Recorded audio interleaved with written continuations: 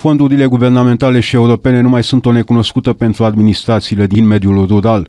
La Bughia de Jos au fost făcute investiții în infrastructură, iar în această privință și anul acesta începe în forță. Două proiecte de finanțare au fost semnate de la începutul anului, iar fondurile vor veni prin Planul Național de Redresare și Reziliență. Unul dintre acestea se referă la două stații de încărcare pentru mașinile electrice. În acest moment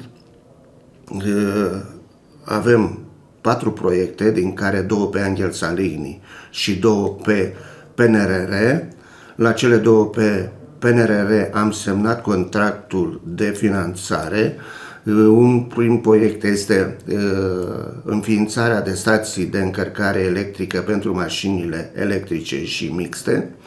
Două stații care ne-am propus, una să fie instalată în punctul Bădești și una în punctul la școală sau la primărie în funcție de avizul dat de cei de la Electrica.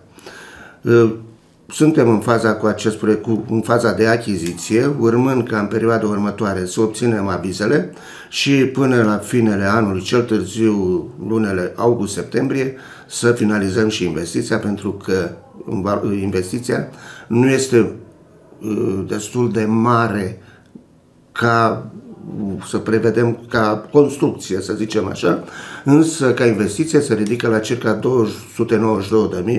de lei.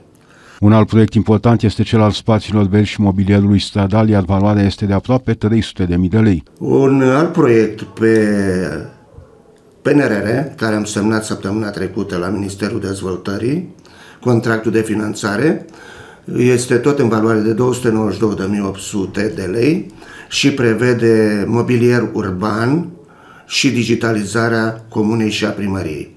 La mobilier urban am prevăzut să executăm din această sumă ca o zonă de agrement la intrarea în comună pe partea dreaptă între podul Bădești și uh, magazinul din, de la punctul stația Bădești, uh, cu băncuțe, cu un parc, să spunem așa, cu spații verzi, băncuțe, un iluminat deosebit, pretabil pentru o zonă de agrement.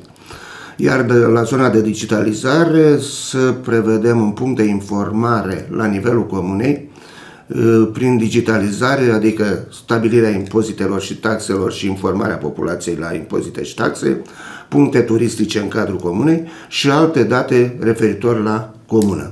Investiții se vor face și în reabilitarea străzilor și înființarea rețelei de canalizare, iar fondurile vor veni prin Programul Național de Investiții Angel Salini.